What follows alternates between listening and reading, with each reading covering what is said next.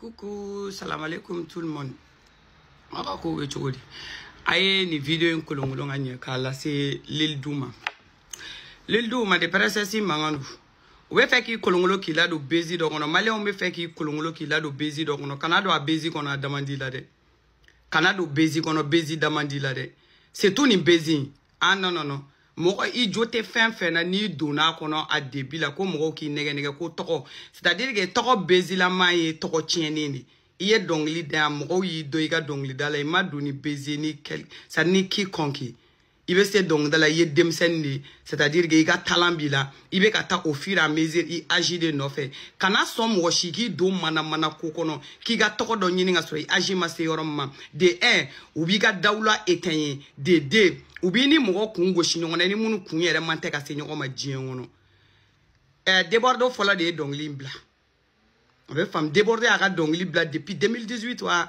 n t'a dɔn 19 entre 18 19 18 19 e ta kɛra 2021 n'u y'i su k'i bila a kɔnɔ c'est comme e de déborde dɔw ta ye ka segin a kan donc u kana n'i don a kɔnɔ dɛ et puis en plus fɔlɔfɛ mali tun bɛ kulonkɛ kɛ aw kana kow bɛɛ kɛ hɛn ye quoi mali de tun ye pays ye afrique de l'ouest kulonkɛ tun bɛ bɛn pays min ma quoi Mali de kouye pays Afrique de l'Ouest mi était fier. C'est-à-dire que pays wera ka ka pays trop fort ou bien trop fort mounou bebe eh, Mali ma ou autre. C'est le Mali qui était fier de ça. Mais abina ah mou en sougou de ta koti se mou ni nyon ka se dégéré de ma pour rien. Aga propre conviction doron kama quoi. Ah oui reka intérêt doron kama quoi. C'est pas la peine.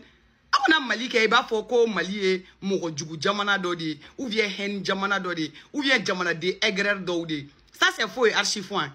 an ni mɔgɔw jɛra ka misigiw da ɲɔgɔn fɛ ka misigiw échange ɲɔgɔn fɛ on n'a jamais eu de problème sur ce côté là donc aw ka na problème créer an dara quoi a bɛ faamuya Debordo il est le meilleur Debordo bɛ se ka kɛ Lildu fa de ye musique kɔnɔ c'est à dire k'a kulonkɛlama tɛ dɛ Debordo fana bɛ musique dɔn de fo merde o fana ka fɔ o tɛ foyi tiɲɛ wa a bɛ faamu Lildu a t'a daminɛ sisan c'est un bébé musique kɔnɔ Lildu est un bébé donc il commence à à à à à apprendre de ses pas là hein il commence à marcher.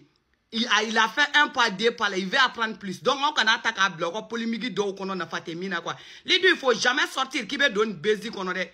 à béni Alan ala ni ala n'i à kɔrɔbɔ an bɛ sa ɲɔgɔn na tikitɔk in hein. kan parce que tu n'es pas carrière d'argent man, de mande princesse sigilen ɲɛna a tɛ kɛ fo ka diɲɛ ban kana don bezi in kɔnɔ de folle à ka dɔnkili da Halina n'a segira k'a a c'est une fierté mais a m'a yɛrɛ fɛ n'an y'a la a comme e à ta refaire parce qu'attaquer a bien avant pour toi donc l'île du o déborde c'est la musique africaine qui gagne. Un point d'être, basta. L'Ildou, c'est... C'est-à-dire que Debordo, Debordo, c'est Lildou. Amin C'est quoi ça